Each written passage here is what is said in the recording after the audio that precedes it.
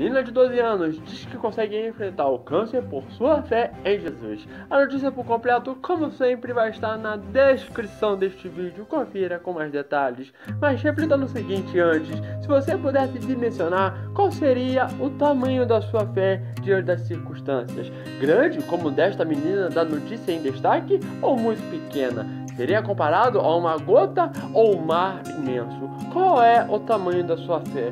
O homem, da, o homem da cruz, que foi Jesus, já nos revelou o segredo impossível, a visão de vencedor para romper os montes. Ponha tua fé em ação.